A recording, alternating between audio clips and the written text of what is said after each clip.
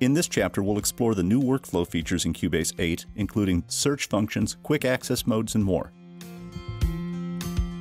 Let's return to the single window concept described in Chapter 1. This approach to the user interface provides multiple benefits. First, as we've already described, it brings the functions that you need most often to the main screen, making them easier to find and use quickly. Another benefit of the single window concept is that it allows you to navigate Cubase more efficiently without a mouse. This is just one way that Cubase 8 is optimized for accessibility. But the ability to tab through the mix console will expedite anyone's workflow. Watch how quickly I can enable items in the channel strip just by using Tab, Return, and arrow keys.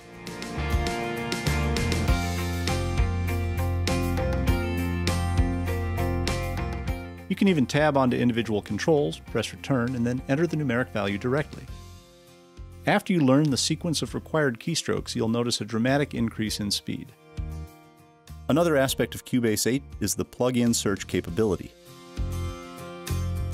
Clicking on an empty plugin slot opens a new search dialog. You have the controls to expand or collapse the tree and a search window. If you're not sure which plugin you want, or you're browsing for options, then expand the tree to see everything that's available. This is handy if you don't remember the name of the plugin you're after. On the other hand, if I know exactly which plugin I want, I can enter it here, for example, DJ EQ. As soon as you press return or click the result, Cubase automatically inserts the plugin and calls up its editor. You can remove a plugin just as easily by selecting the first option, No Effect. And notice what happens if I type Reverb. Cubase picks up on the Reverb family, so it shows choices like Reverence, even though the word Reverb isn't used in the name of the plugin. This same search capability is available for channels as well. You can see all the channels in your project by expanding the tree, or you can enter the name of what you're looking for and Cubase will begin to filter the results as you type. So you may only need to enter a few characters to find the channel you're after. And the channel search will find hidden channels too. As soon as you press return or click the result, Cubase automatically selects that channel. If the channel was hidden, this will turn its visibility back on.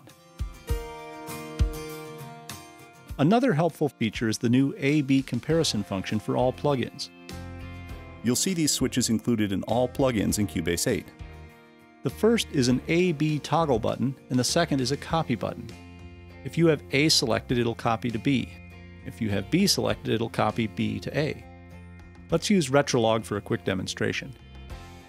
Here's the starting sound. If we toggle back and forth, you can see that the same setting appears in A and B.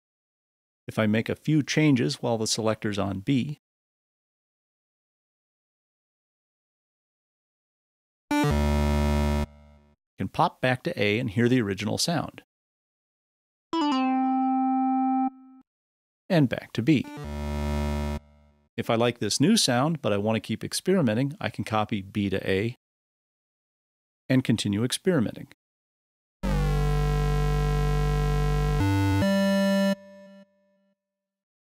And still go back to the latest version. Another way Cubase 8 helps you move quickly is with the quick access modes for plugins. For starters, you can now create a new send effect directly from the mix console. Right-click on an empty send effects slot in the rack, and select the option to Add Effects Channel. Pick out the effect you want and click on Add Track. Cubase instantly creates a new effects track, adds the plugin to that track, and opens the plugin editor. And if we right click on the new plugin, you can jump right to things like the automation tracks for Enable and Send Level, and the ability to position this plugin pre-fader. You can even copy the send effect. Then tab to the next channel and paste it. If you use the key commands Command or Control and then C for copy and V for paste, this is even faster. Here you can add this parameter to a quick control slot, or call up its automation track directly. And you can reopen the editor for any Effects Send plugin by double-clicking on the associated rack slot.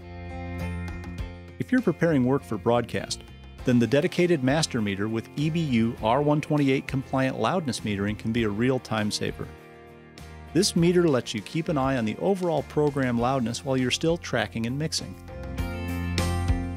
On-screen meters can tie up both screen space and CPU power. Cubase 7 now gives you the option of using mini peak meters in lieu of the main meter bridge. Another way Cubase 8 helps you move quickly is with the quick access modes for plugins. But this pane gives you more than just a look at all the levels. You can use the overview pane to navigate around large projects. You'll see a fine line along the very bottom of the overview pane with colored segments which represent the various types of tracks.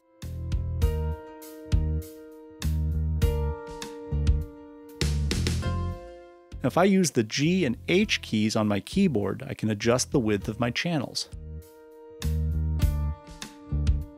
If you hover over it, a hand tool appears, and you'll see a pop-up telling you which channels are in view. You can click and drag to bring other channels into view. And you can right-click and access the various meter options. Now let's move on to the next chapter and dig into the channel strip.